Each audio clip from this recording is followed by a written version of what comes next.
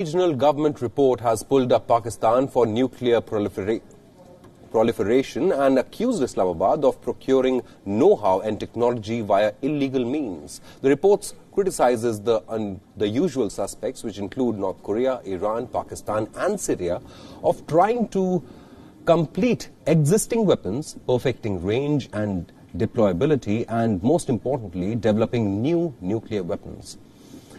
There are embargoes and restrictions on countries like Pakistan from obtaining components required for their nuclear arsenal. But according to the report, Islamabad has been violating these restrictions by importing dual-use equipment and illegal acquisition via cover companies.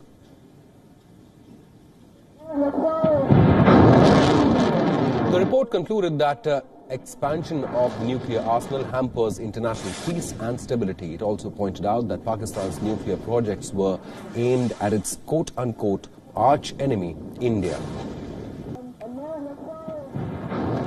Pakistan has been pulled up for nuclear proliferation multiple times. In 2004, the architect of Pakistan's nuclear program, AQ Khan, admitted his role in procuring designs for countries like North Korea.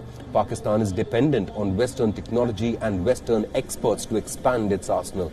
To bypass restrictions placed by risk states, Pakistan conceals the end user by diverting necessary components via countries like United Arab Emirates, China and Turkey.